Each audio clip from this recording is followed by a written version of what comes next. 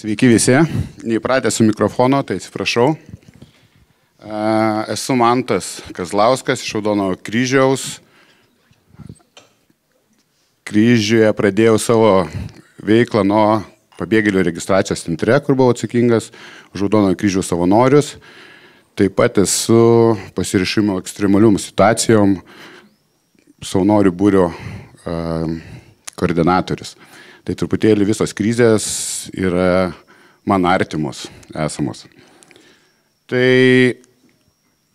ką mes turėsim truputėlį apie Raudonojo kryžiaus veiklą trumpai, Ukrainos krizė ir poreikis, kas jums turbūt aktualiausia bus.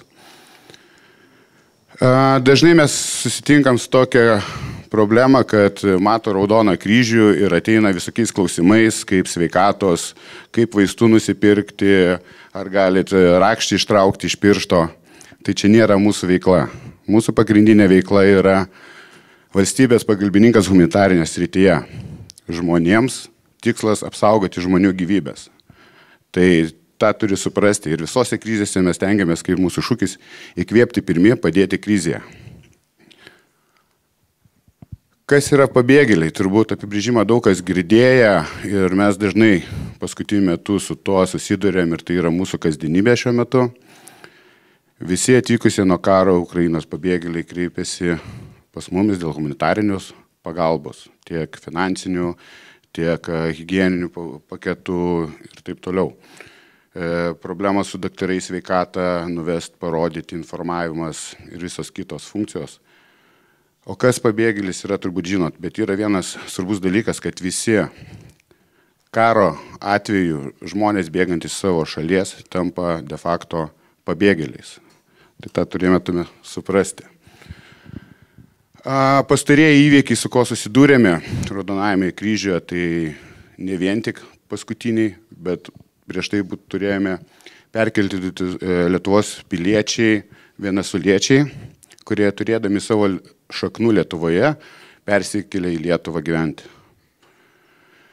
Prieglušio prašytojai iš Baltarusijos. Turbūt visi atsimena tos įvykius Baltarusijoje, kaip nepripažintas Baltarusijos prezidentas pas, pasiskelbė, vyko protestai, buvo žmonės persiekimi, lygiai taip pat bėgo iš šalies, prašydami prieglaušio ir gretimą šalis.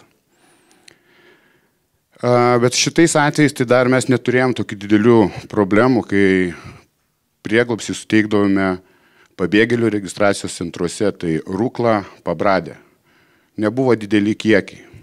Ką mes turėdome toliau, negalių migrantų krizė, ką matėt per televiziją, ką minėjo ir dekanas, dideli kiekiai Baltarusijos stumimi žmonės mūsų užplūdo. Prasidėjo didžiausia problema - gyvenamasis plotas, kurios talpinti, kurios patalpinti. Pabėgėliai iš Afganistano, lygiai tuo pačiu metu, kurie mūsų kariškiams padėdavo vertimais tenais, e, talibanas užgrobė šalį, lietuviai priėmė savo, nes jie padėjo mums, mes padėdom jiems. Ir paskutinis arba didžiausias žinomas karas Ukrainoje. Tai didžiausias antplūdis ukriniečių, ką ir matote. Įvykus karui prasidėjo didžiausios problemos pabėgėlių. Lietuvos politika buvo priimti jos, sudaryti sąlygas priimimui buvo įkūrėmi pabėgėlių registracijos centrai. Alitus, Vilnius, Kaunas, Klaipėda, Pandyžys, Mariampolė. Šituo atveju, jeigu pastebėjote, Alitus pirmas įrašytas. Čia viena iš tų sąlygų, kodėl Alitus.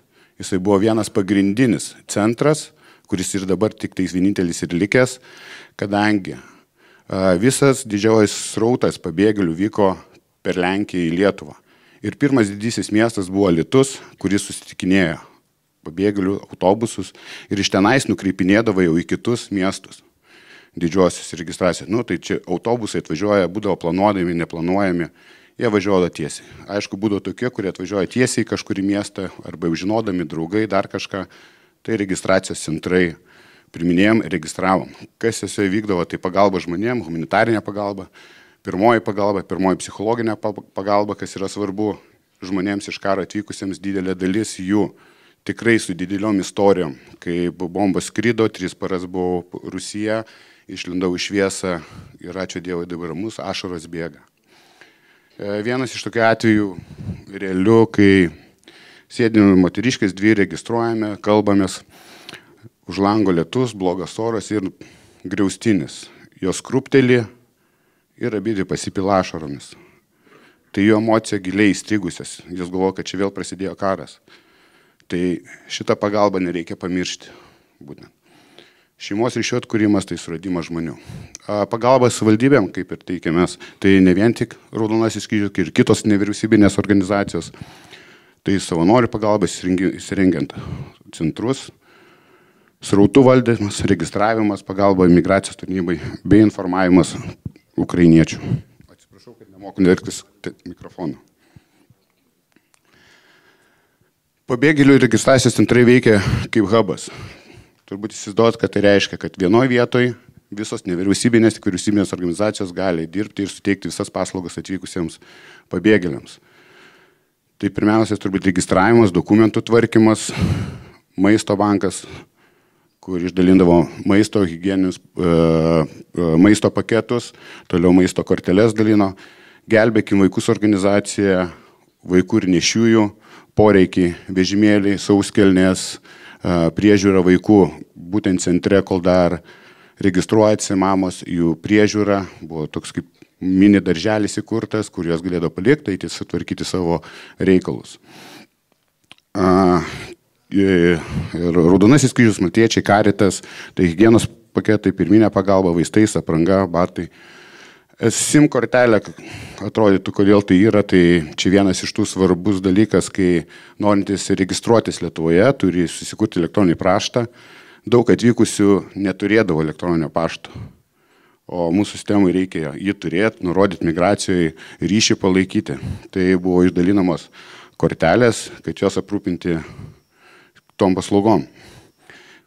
Pirmoji psichologinė pagalba, kaip ir minėjau, informavimas, nukreipimas, užimtumo tarnyba.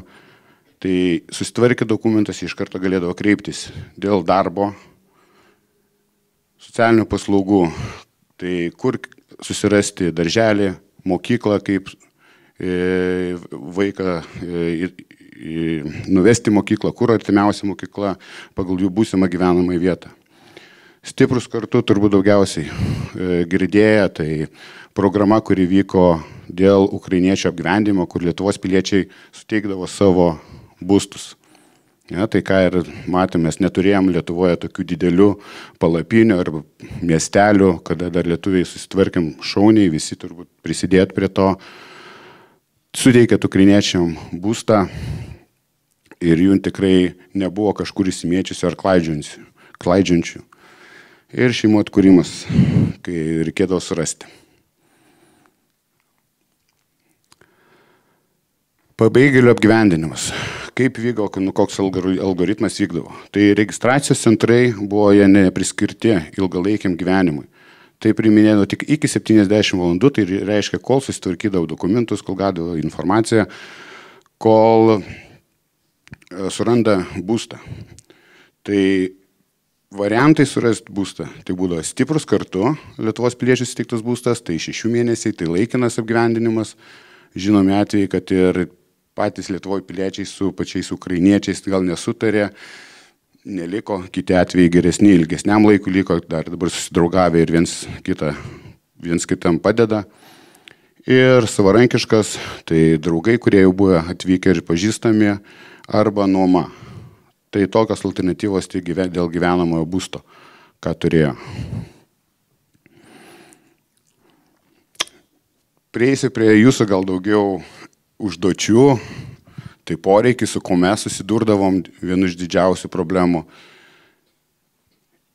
Ilgalaikis gyvenamasis plotas. Ne? Tai visur suprasdavom, kad jie patys ieškodavosi stipriai, nori įsigyventi, nori toliau gyvenimo, bet atsiranda kitos problemos, kai didžiuosiuose miesto nuomos kainos iškylo dėl to, kad jų kiekis buvo didelis. Neįgalėjai. Turėjom vieną labai stiprų atvejį, kai Kauno registracijos centrą atvyko autobusas su 40 neįgaliųjų visiškai gulinčių asmenų. Pastatas, jeigu žinot, Vytauto prospektas 79, tai kultūros centras nebuvo pritaikytas tokiems atvejams. Autobusas atvyksta 3 val. nakties, 3 savanoriai, ką darom? Tai būrėm, žmonės kvietėm naktį atvažiuoti ir rankom ant kaldrų pernešinėjo žmonės. Kita diena surastas būstas buvo jiems, e, savivaldybės prisijungė šitą, jas reikėjo vėl taip pat rankom išnešti. Tai buvo didelis fizinis darbas, e, daug nepatogumo ir tai buvo neapgalvota iš anksto, ką daryti su tokiais atvejais. Šeimos su mažamečiais vaikais iki 3 metų. Lygiai taip pat lovytės nenumatytos, žindinimo vietos, vystiklų perkeitimo. Vieną vietą, jeigu daugiau moterų, neturėjom atskirai. Jeigu buvo bendros patalpos, vaikas vienas mažas rėkė, Įsivaizduokit, kad tai reiškia, kad jeigu du yra mažamečiai vaikai, bendroji patalpoji miega triukšmas, ramybės tikrai nebūna. Iki mokyklinio amžiaus vaikai turėjom gelbėkim vaikus, kurie stipriai padėjo, tai buvo trumpai. Bet jeigu jums planuojant į ateitį, reikia pagalvoti, kur, ką vaikai veiks, darželis, užimtumas jų. Tėvai vis tiek kažkada ateitį norės planuosis integraciją, ieškosis darbo, kažką veikti.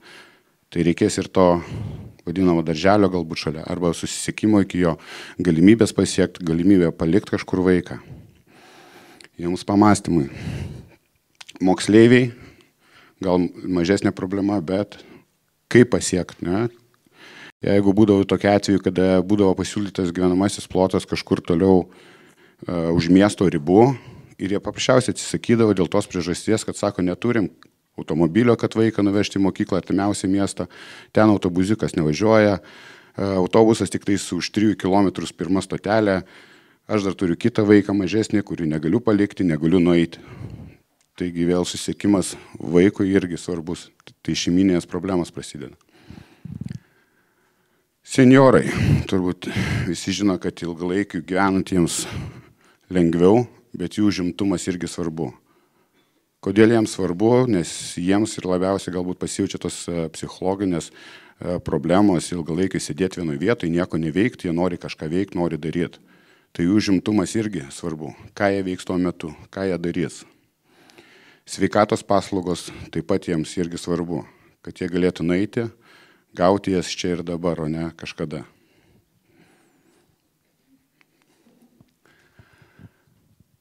Sekantis poreikis turbūt jau administracinis pastatas, kuriame reiktų planuotis, kaip visos organizacijos, nevyriausybinės, tiek vyriausybinės galėtų dirbti, turėtų savo darbinį plotą, darbinės vietas, paskaičiuot, pagalvot, maitinimas jeigu kalbam apie ilgalaikį, kur jie galės valgyti, ar tai nusipirkti valgyti, ar įsigyti valgyti, ar juos maitins, čia jau kiti dalykai.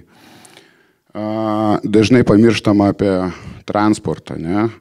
kadangi darbuotojų ir savanorių susidarytų dideli kiekiai. Kai registracijos centre mes pradžioj turėdavome srautą apie pirmom dienom tūkstantį žmonių į dieną pabėgėlių, savanorių vien tik Raudonojo kryžius būdavo 21 pamainą, tai 3 valandom.